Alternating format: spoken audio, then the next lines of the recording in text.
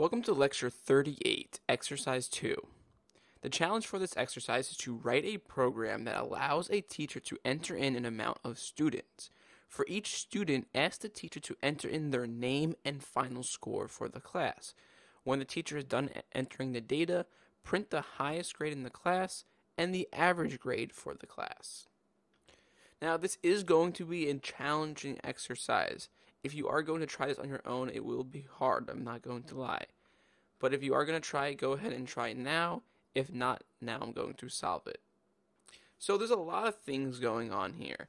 We need to basically get in the amount of students. So let's say there's 20 students, 30 students, whatever the amount of students in the class. We need to get that number because we need to build basically arrays based off of the amount of students. So if there's 25 students, the arrays should have 25 elements. So we can't use that shorthand notation for building an array in this example. We actually have to do the manual way that we did in the first lecture on arrays. So we need that number of students. Then we need a way to basically keep track of all their names and their final scores. So there's two pieces of data for each student, their name and score. So that should tell you that we need a parallel array. So that's that. And then when the teacher is done entering the data, we need to print the highest grade and the average for the class. So the highest grade, that will be a little challenging. I'm not going to do that till the end, probably. I'll do the average grade first, and then we'll go back and do the highest grade so you're, not that confused. The highest grade is a little hard to think of on your own. And then the average grade for the class. So I could do all these separate things, eh, all these different challenges in different loops, but I'm going to try to combine them all into one loop to make, keep it as clean as possible, but it may get a little bit more confusing. I know that when I do it in separate loops, it makes it easier to read, but I wanted to keep it efficient. So I'm going to try to explain it as best as I can as we go along. So the first thing we need to do is we need to actually get some variables created and we need to ask the user how many students are in their class because that will change depending on whoever whatever teacher is using this program. So let's start off by just saying console.writeLine enter the amount of students in your class. And I'm going to say int amount of students equals int.parse console dot. So now we have the amount of students stored into this variable.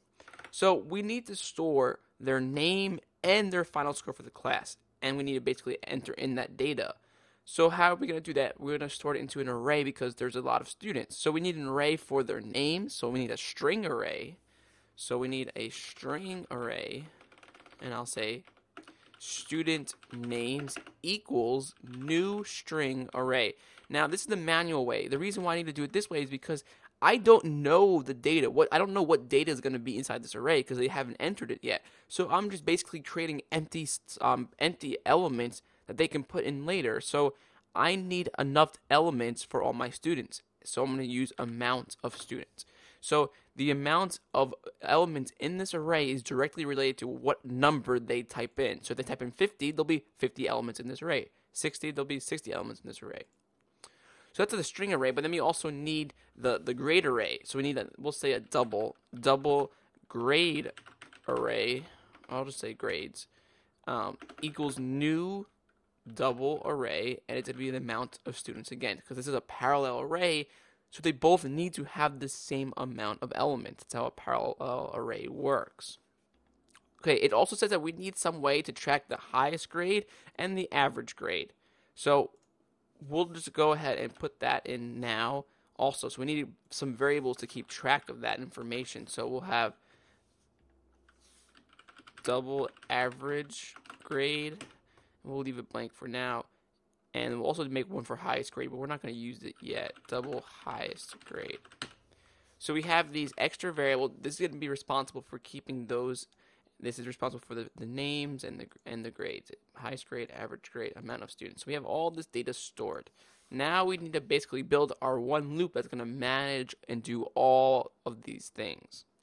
So the first thing we need to do is every we need to basically prompt the user to enter in the student's name and grade for every student.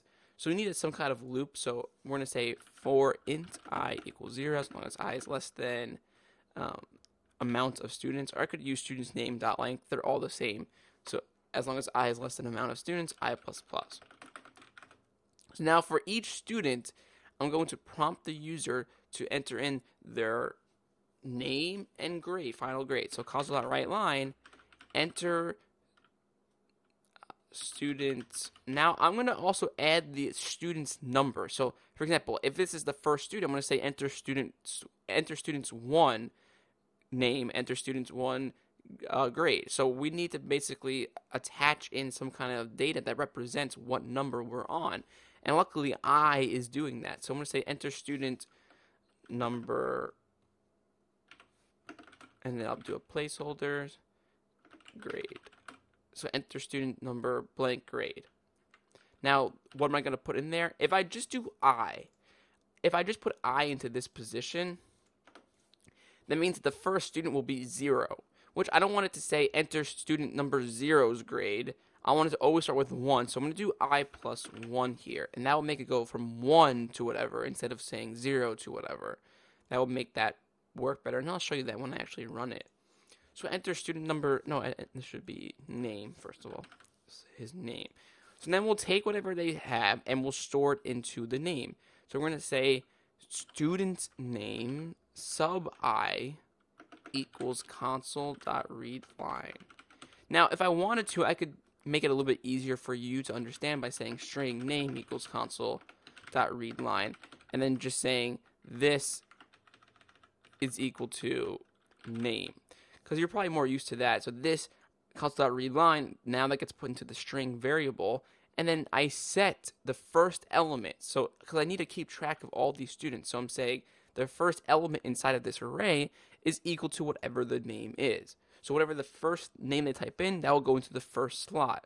Once i increases by 1, then it will go into the second slot, then the third slot. We, we've seen things like this already. So that's the name is now stored. Now I'll do one for its grade, console.writeLine. This is going to be the same thing, basically. I'm just going to change it to grade. So then this will be double grade equals double dot parse console dot read line. So now we have their grade, and then we'll store it into the grades array. Grade sub i equals grade. So whatever their grade is, I'll store it into grades sub i. So now we have the name of student for every student, basically. If we let me just run it now, it's not going to do anything yet, but it's going to ask me for the information. So well, look, enter the amount of students in your class. I'll say I have four students. Notice how it goes enter student number one name. Because I'm using that i plus one, it's not saying enter zero's name, it's saying enter one name. So I'll say Bob, enter number one's grade. He got a 50. Enter student number two's name. Tim, 60. Fred, 40. And Sam, 100 see, the program just ended. But if you look, it goes one, two, three, four instead of zero, one, two, three. But that that i plus one is doing that. And now in my two arrays, I have their names and their grades for every student stored in memory. So that's why we needed those parallel arrays to hold the double and the string. So that's what's happening so far. After this code is done running, each array has all the information they need. Okay, so now let's start keeping track of the average grade. So we have all the students' grades and names, but while we're doing this, we want to keep track of the average. And how do you calculate average? Basically, it's all the grades added up together, then divided by, at the end, it's divided by the amount of grades. So every single time we enter a grade into the array, we should also add it to this double, I mean, this average grade so to start keeping that sum because we need to add every single one together and then at the end we'll divide it by the length. So every single time I add, I put into the array, I should also add it to average grade. So I'm going to say average grade plus equal grade. So every time I add a grade, average grade is again we have an error. Oh, okay, I just need to give this. I'll set them both equal to zero to start with. Actually, no, this will be something else. I'll just get to that. So average grade plus equals grade. So every single time a grade's entered, we're adding it to this average grade variable, which is now just keeping the sum of every single grade. At the end, I'm going to print the average. So when the loop is done, this is where I'm going to do all the printing stuff. all down here. So I'm going to now calculate the real average. So I'm going to use the same variable and just overwrite it and print the average. Or I can just, I'll do it two ways, and I'll also print it out first. So for example, I'll say double average equals the average grade divided by the amount of students, basically. So this is all the grades added up together, and then I'm dividing it by the amount of students, and then it's being stored into this average. But instead of making a brand new variable, I could just reuse this variable and say, and just overwrite the value. Average grade is equal to average grade divided by amount of students. This is also the same thing as saying divide equal. Remember I went over this? So saying average grade divide equal amount of students will basically divide this number by that number and then reassign it to whatever it was. So that this is equivalent to that, which is also basically equivalent to this. Whatever you understand better, you can use. I'll I'll use it like this because I want to show you guys the advanced stuff. So average grade divide equals amount of numbers. So now average grade is the actual average. So if I go the average grade of the class is and put an average grade. Now it's going to tell me the average. So let's try this again. We'll just do two students to test if it works. Bob, he got a 60, and Tom got a 60 also, just to check it works. The average is 60. Let's do one more. So I know it's working now. I'll do two. Bob, 86. Tim, 97. The average grade of the class was a 91.5.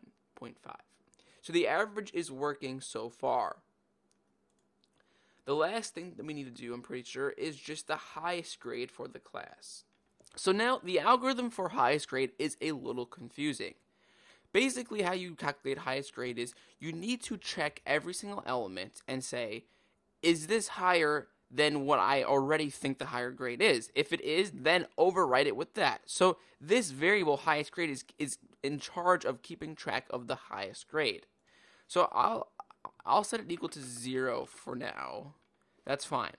So now every single time this loop runs, I'm gonna do an if statement. I'm gonna say if whatever that grade is, so the grade that was just entered, if that grade is greater than the highest grade. So if it's greater than the highest grade, then I'm going to then I'm going to say the highest grade is equal to grade. So I'm basically just overwriting this highest grade variable every single time if the grade that's typed in is higher.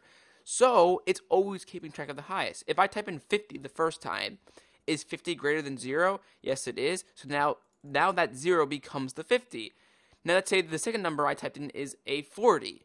It will say, is 40 greater than 50? No, it's not. So it doesn't overwrite it. It stays at that 50. So by the end of the entire loop, the highest grade will be the highest grade. Whatever the highest grade, it will store that and it will remember that grade and only that grade. It will only overwrite that grade if the new grade is higher, and then that will become the highest grade. So this is the algorithm of how you calculate highest grade. So now the last thing I want to do, I'm going to print also console.writeLine the highest grade of the class is, and I'll put in highest grade. Let's try that now. Two students, Tim, 78, Tom, 99. So the average grade of the class is 88.5, and the highest grade of the class is 99. So now we are getting that highest grade. If I wanted to do the highest grade first, just to show you that, just to show you that it works, I'm going to say Bob. Oops, that's supposed to be a number of students. I'm going to say two students. Bob, 99. Tim, 55. And you can see that, that it, the 55 did not overwrite the 99, and it remembered that the 99 is the highest grade. Now, I want to make it just a little bit more advanced. This will be the last uh, part that I want to add. I want to show, okay, the highest grade is 99, but then I also want to display the highest what his name was. So if it was a 99 was the highest grade, I want to say okay, that was Bob. Bob got the 99.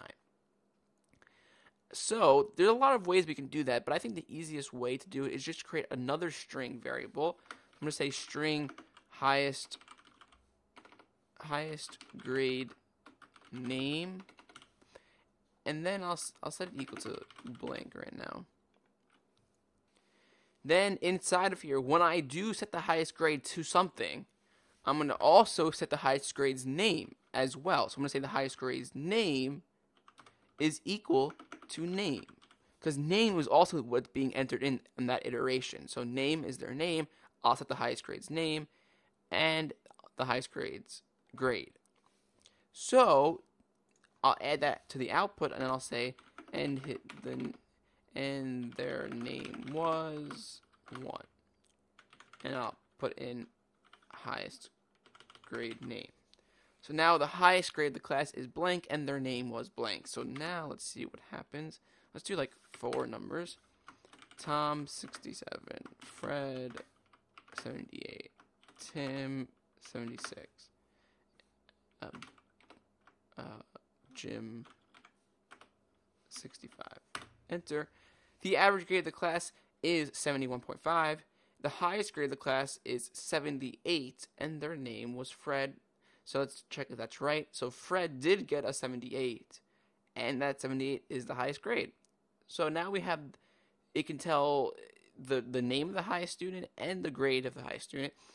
And you can imagine, you know, if you had 30 students or something like that, this can actually be a little practical.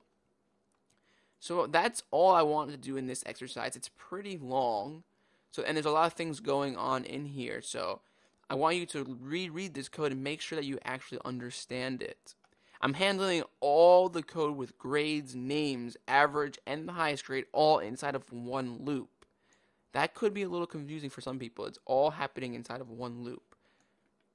But that's it for this exercise. The last exercise is going to be a little game that we're going to make. It is going to be slightly harder than this, or maybe at the same exact level, um, but it's actually going to be a cool game that we can make.